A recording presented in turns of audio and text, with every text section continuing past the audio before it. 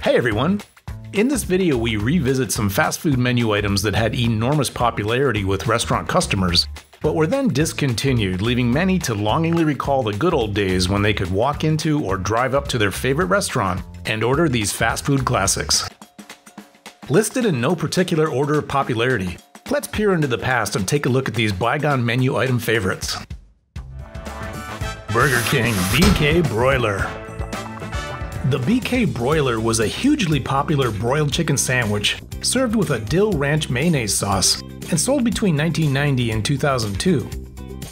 Shortly after the sandwich launch in 2002, Burger King was selling 1 million BK broilers per day.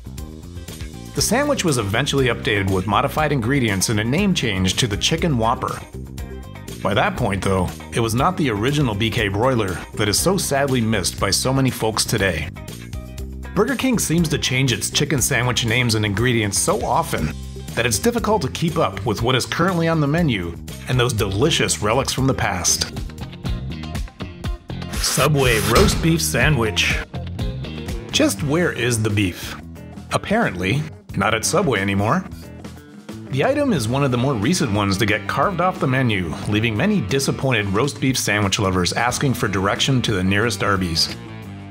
Not only did the roast beef sandwich get the axe, but roast beef as a meat choice for any Subway product was also eliminated. Subway gave no reason for the heave ho, creating space for speculation and conjecture that the ingredient just became too expensive to purchase for the restaurant chain. They did offer hope that other exciting menu items would be added in the future, but declined to state what these might be exactly.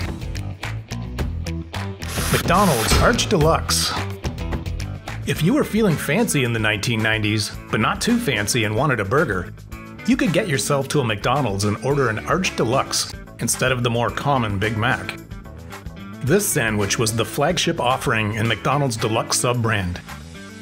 It debuted in 1996 and consisted of a quarter pound beef patty on a potato flour sesame seed bun, with toppings that included peppered bacon and a mustard and mayonnaise sauce.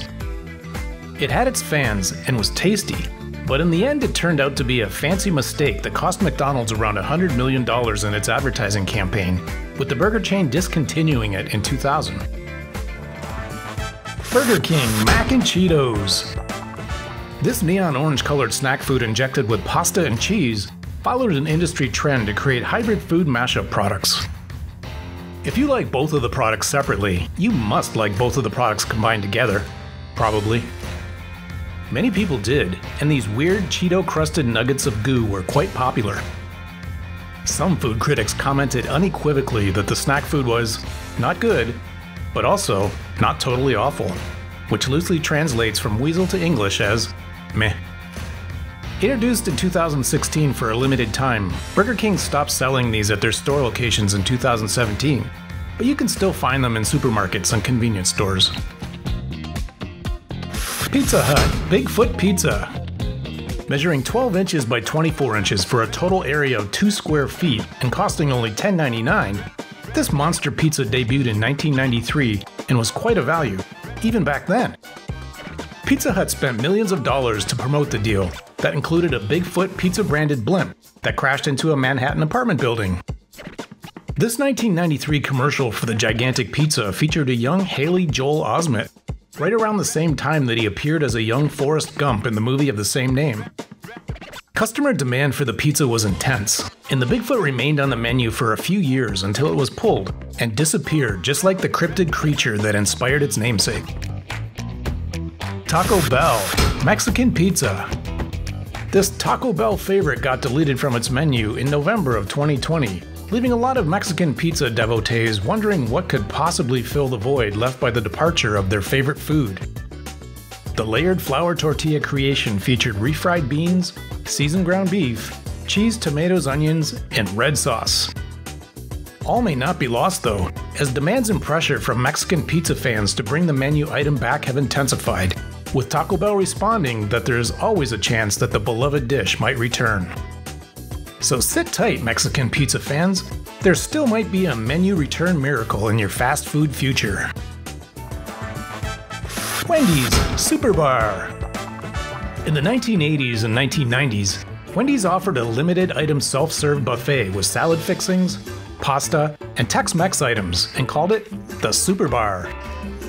Customers could create traditional style salads or exercise their food creativity freedom and construct plates of food with an almost limitless number of item combinations. Who doesn't love corn chips, rotini, bacon bits, and steamed broccoli plonked onto a nice bed of lettuce?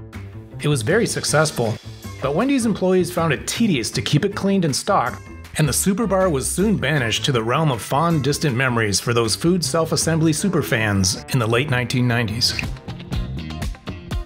Taco Bell, Enchirito. Here's another one from Taco Bell that still has some people fondly remembering the time when this item used to be on the menu. It was a burrito enchilada hybrid covered in red sauce, shredded cheese, and exactly three olives on top, served in an oven reheatable tin. It was a delicious end to many late nights and disappeared off the menu in 2013 as an official item. But savvy Taco Bellers can still get an approximation of the enchirito by ordering the smothered burrito and replacing the sour cream and sauce with onions and red sauce. McDonald's Original Apple Pie. Obsessive fans of the original apple pie swear that nothing was as good as the deep fried version, and that the texture created by the deep frying process created bubbled pastry on the outside that had a unique crispiness and mouthfeel. In 1992, McDonald's transitioned the pies from a deep fried to a bake process in an attempt to make them slightly healthier and left millions of pie fans jonesing for the OG version of this sweet, afterburger treat. McDonald's changed the pie formulation again in 2018 with a modern makeover that was again even slightly more healthier than the 1992 version. Apparently, one can still find deep fried apple pies at some locations if you reside in or wish to travel to the UK, Japan, or Russia. McDonald's McRib. This third McDonald's entry on our list is the well known McRib sandwich. Technically, it never went away, but has been relegated to occasionally appearing in autumn on the menu as a limited time offer, leaving some McRib enthusiasts peeve about its scarcity. First appearing in 1981, the process to formulate the delicious sandwich was developed by meat scientists at a U.S. Army Food Research Center and falls under the category of structured meat. Although McDonald's doesn't give an exact reason for it not being a regular menu item, it has been theorized that McDonald's only makes it available when pork prices are favorable, but you can find it on the menu full time in Germany and Luxembourg. Well, that's it for 10 discontinued, sadly missed fast food menu items. There are tons more that we didn't cover, as restaurants change up their menus fairly regularly for business strategy reasons. So remember, as a former member of the Beatles once said, all things must pass. Get them while they're hot. Supplies are limited.